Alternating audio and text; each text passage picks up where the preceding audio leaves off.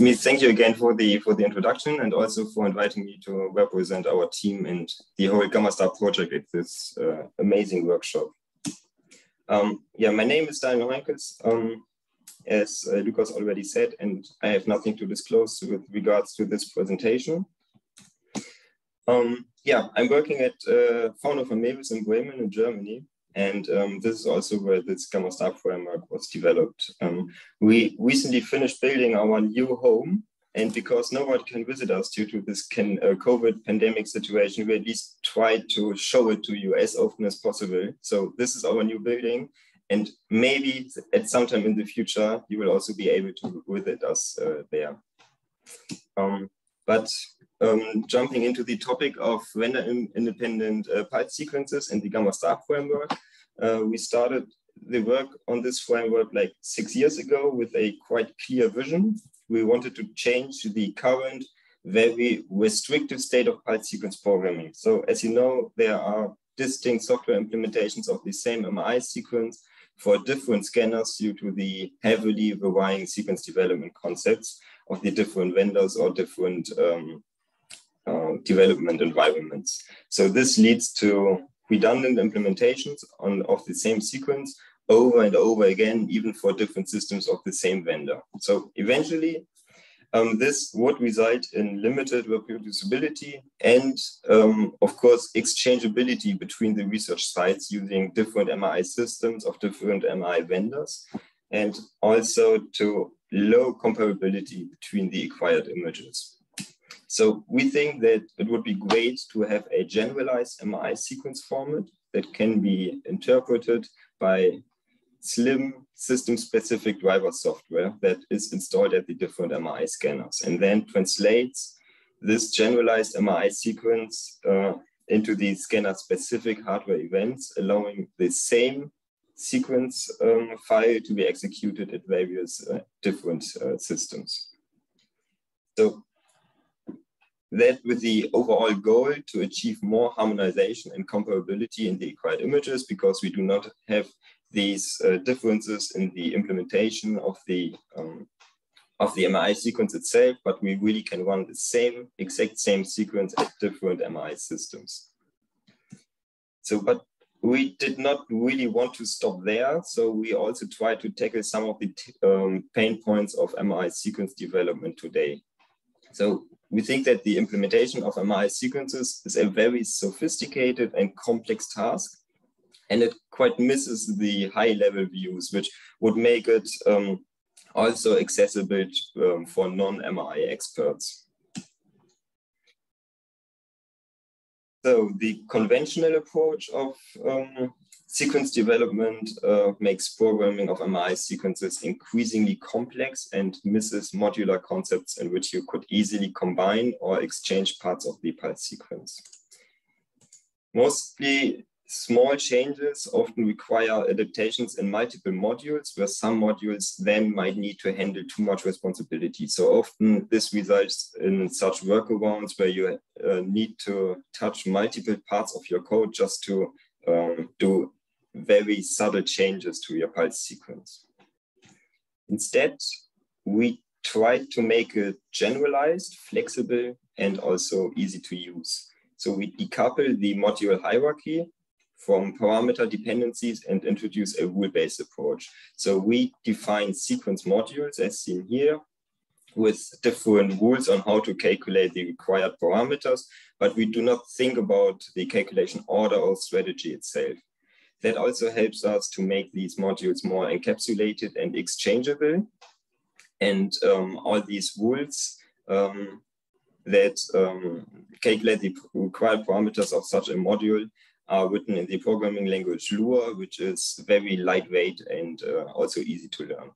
So again, comparing the traditional approach on the left with a rule-based approach on the right, we can support kind of a more natural thought process with clear encapsulation, which makes it easier to reuse parts of the sequence instead of requiring the exhaust thought process when additionally being forced to really think about the calculation, calculation strategy and think about that the input parameters all need to be available when you want to calculate your next parameter and uh, follow exactly step by step a calculation strategy. So instead, we just define different rules and then um, in Gamma star, the calculation order is automatically resolved in an instantiation step that will form a directed acyclic graph, allowing efficient calculation of all parameters. So the instantiated Gamma star sequence, which is um, exported by our framework, would then consist of this module hierarchy and the uh, parameter graph that defines the dependencies and the calculation order and calculation strategy for each parameter. When executing or, or simulating such a sequence, um, this sequence tree is then traversed starting at the root module, which you can see in, in red here. And um, yeah, then we traverse the whole sequence tree and each time a parameter is required or a new parameter value is set, we um, perform simply set and get operations of this parameter graph. So if we get, for example, this parameter, then the parameter knows uh, which input parameter needs to be available to invoke, again, get operations on these parameters. And so uh, resolve this parameter graph on the fly. So when hitting such a loop module, then uh, we just repeat the traversal for the um, underlying tree branch uh, for the for the uh, for the loop length. And when hitting such a basic module here in purple, we will translate the uh, basic element to the according hardware event. So these basic elements are basically uh, events like alpha pulses or gradients that are then directly transferred to um, the hardware events. So this concept becomes a bit more clear when using the example of a very simplified gradient echo sequence. So again, we start at the root module. We have here directly a line loop we loop over this line loop and collect all the basic elements, um, which are here depicted in purple, and um, put them directly into a, into a sequence diagram or uh, onto the scanner hardware. So we can see that um, each um, basic element is one of the elements you know uh, from your sequence diagrams. Building such a sequence is uh, performed using our web-based GammaStar front end. So there's an open version available at gammastar.mevis.fraunhofer.de, but you can also use this short link at the top of the slide. Um, it lets you explore some of our sequences in read-only view. So you can just click on one of these sequences, um, which are uh, some of um, our GammaStar sequences. And um, then you would have a read-only view, which is um, completely uh, inside your browser. Um, but you could also download the Docker-based um, container right at, the bottom here. And then you would be able to um, also use the, the front end uh, for editing your own sequences, but also to uh, edit our uh, MRI sequences. So how does it actually work at the scanner? Um, there are three main parts involved. So um, our exported sequence structure, which is still in the form of a sequence tree plus the calculation graph, a scanner independent gamma star backend, which is um, like the sequence itself, completely written in Lua, and the scanner specific MRI driver, which is installed on, on the MRI system. Because gamma star um, sequences are not representing fixed hardware events, but a flexible uh, sequence representation, we are able to configure the sequence and protocol right at the scanner. Um, so that makes it feel a bit more like a product sequence. So we have this additional work uh, or this additional way back from the MRI scanner to, the, to our GammaStar backend, which um, helps us configuring a sequence uh, so the user can really change protocol parameters at the scanner this will then um, invoke um, different set operations in the Gamma star backend, which will be performed uh, on the sequence tree. During runtime, the MRI scanner then uh, asks the um, Gamma star backend for the next stack of hardware events, which then advances the traversal of the sequence tree, calculates all required parameters, and sends the basic hardware events back to the MRI scanner. So to translate this uh, such a gamma star implementation to other systems. Um, only this uh, scanner-specific um, gamma star driver would need to be adapted. All other um, uh, yeah, all, all uh, other elements like the backend and the sequence structure, this is all scanner independent. Um, compared to the vendor implementation of different sequences, we can see a very high comparability to our results in Phantom, uh, in Phantom data. So uh, at the top, we see the vendor um, implementation and at the bottom, the Gamma Star implementation for a Flash, a RARE, an EPI, and SpinEcho EPI sequence with, yeah, a very high comparability and similarity. But also for in vivo acquisitions, we are able to match the vendor implementation in image quality. And um, this is shown here again for the same uh, sequence types. Um, but we also have um, a rich library with a lot of different MRI sequences available. So um, this ranges from simple uh, flash sequences to uh, EPI sequences, but also to more sophisticated sequences like uh, pulse ASL or uh, pseudo-continuous ASL sequences. So one specific feature which we focused on during development uh, was the integration of real-time changes uh, of the MRI sequence during runtime. So we really wanted to have this way back from the acquired image or any other external source uh, to our backend to change the MRI sequence during the runtime or during the scan. So this is achieved by exploiting again the flexibility of the sequence tree and the parameter graph concept, which uh, can be adapted during the scan. So um, we edit this way back uh, and we do so by synchronizing the sequence parameters that uh, should be changed via a feedback WebSocket server. So this would then be able to be accessed by the vendor reconstruction system, but also using Gadgetron or any other external source. Um, this becomes very handy when performing, for example, prospective motion correction to change the imaging geometry during the scan.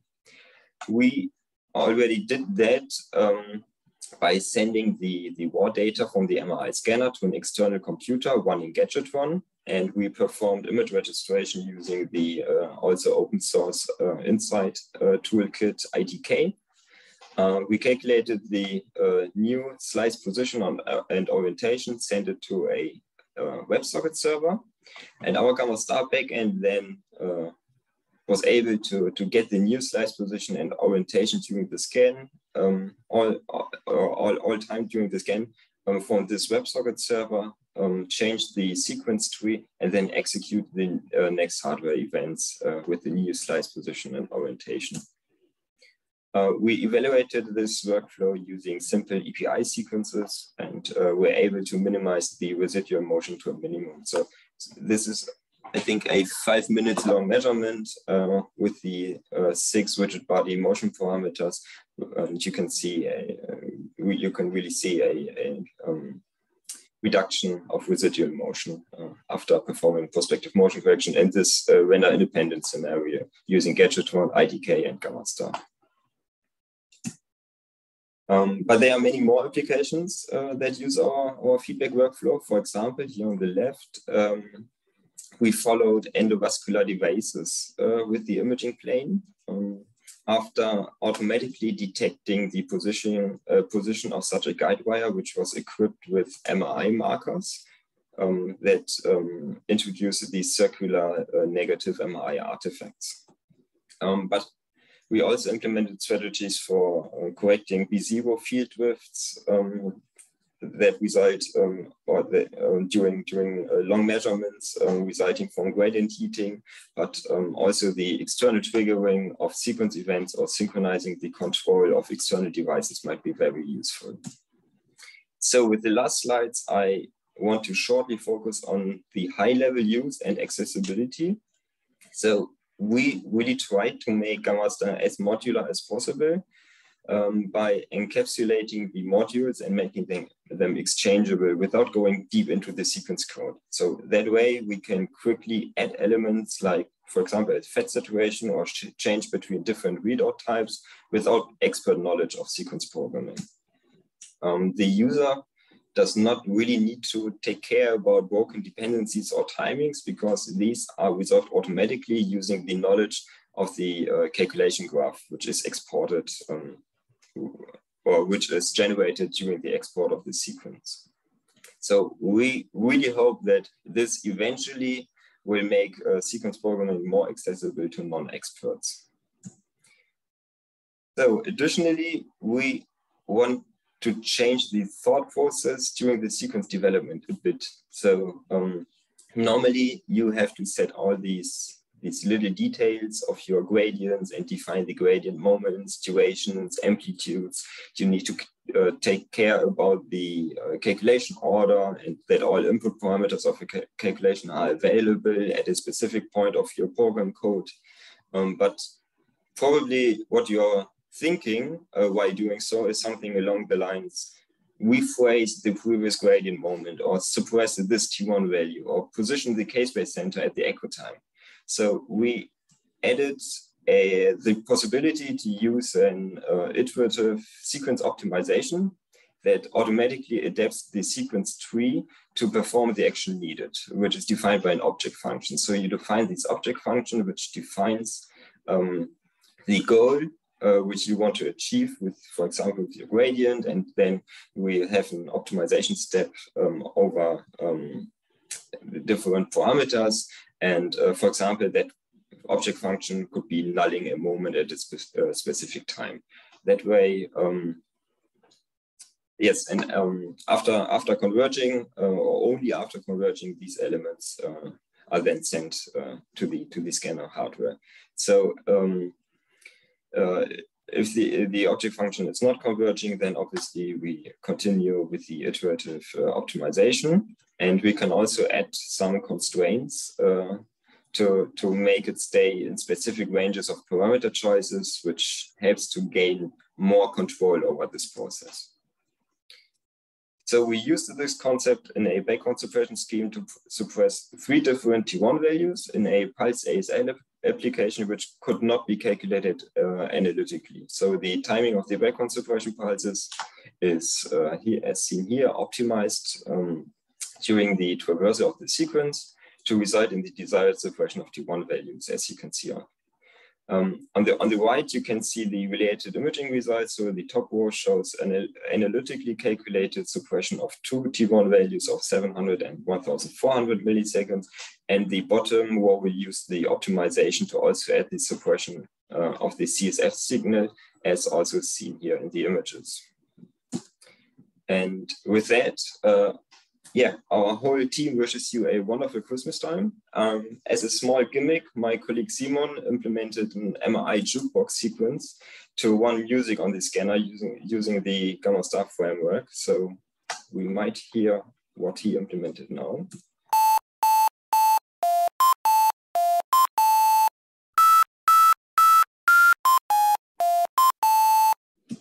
And yes, so thank you again for inviting me and a big thank you to my uh, colleagues for all the effort they've put into this project. And I'm very happy to answer your questions. Thank you, Daniel. A wonderful exit of the talk. Um, thank you very much for, for, for this very interesting presentation. Um, I, uh, I have a few questions of, um, if there are no questions in the chat. So um, first of all, to all participants, if you have questions, um, you can post them uh, in the chat or over this question and answer um, button.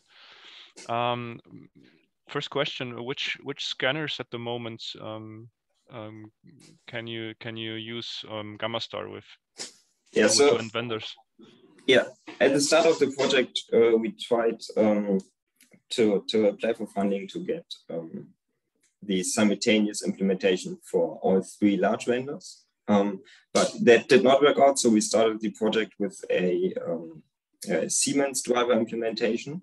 So um, we have the, the um, Siemens drivers for all the different systems, and um, we have then uh, continued with a um, with a research site to implement a proof of concept for for Philips. Um, with and um, we are currently uh, continuing this work uh, to really have a native Gamma Star driver for Philips. Um, and for GE, we are also in discussion about um, research projects um, to, to implement that driver. But we could also run our gamma star sequences using the uh, our, uh, a export. So we would be able to use, for example, for GE, the uh, TOPPE driver. Um, but yes, the goal would be to have native native driver implemented for all three vendors. Um, let's say we have one and a half of them, but uh, we are still uh, uh, trying um, to, or we're still on the way of implementing the uh, native drivers for the other other vendors. Okay. And there are two questions in the chat. Uh, actually, one of them uh, I also wanted to ask. Um, um, maybe the second one you can answer later on in the chat because we have to continue with the presentations. But the first one would be what's the difference between um, Gammastar and Pulseq? Yes, so I think we will hear a lot about uh, Pulseq also um, later today. And I think one of the, the main differences is that we uh, really have this, um, this flexible uh, sequence structure, uh, which allows us um, con configuring and um, changing the sequence during, during the scan and um, not executing like a fixed sequence um, to the to the um, MRI scanner. So we really had this in mind uh, during the project um, to be as flexible as possible, which also comes with a lot of uh, difficulties um, regarding um, yeah, safety checks and so on. So um, we are also able to just pre-calculate the whole sequence and send the fixed sequence to the MRI scanner, which would then be uh, similar to a, Pulseq sequence, but we also wanted to have this uh, real-time implement, uh, real-time feedback, these um, interventional MRI applications. And yes, so I think that's the main difference besides uh, a lot of other details, of course.